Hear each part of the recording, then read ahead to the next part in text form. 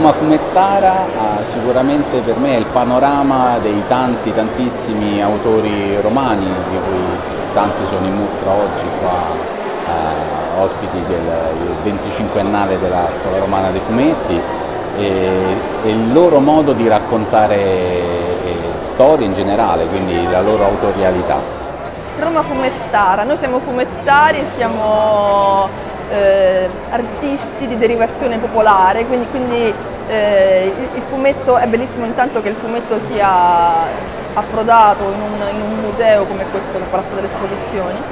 E, mm, e poi Roma è tante cose, Roma si può raccontare veramente qualsiasi aspetto di Roma è, è, è, di, è di ispirazione.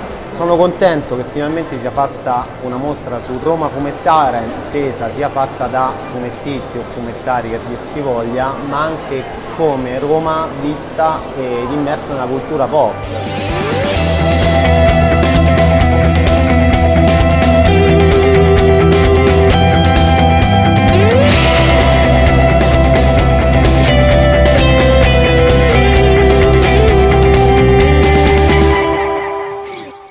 Me anche ritornare per il 25, 25 eh, anniversario eh, della scuola, per me anche vedere tutta questa diversità attraverso i lavori eh, dei grandi autori del fumetto, quelli che sono stati per me i miei punti di riferimento, per me davvero proprio tornare a casa.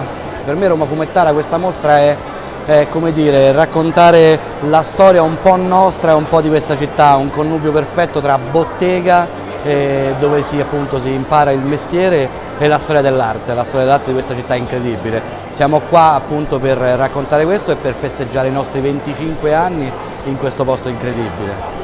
Roma Fumettara è stata un bel, diciamo, una bella richiesta, mettiamola così, generica ma allo stesso tempo che ti fa dare tanti spazi per pensare, per dire cose e pensare anche immagini che sono tutte diverse l'una dall'altra. Poi Roma Fumettara è sempre Roma, mettiamolo così.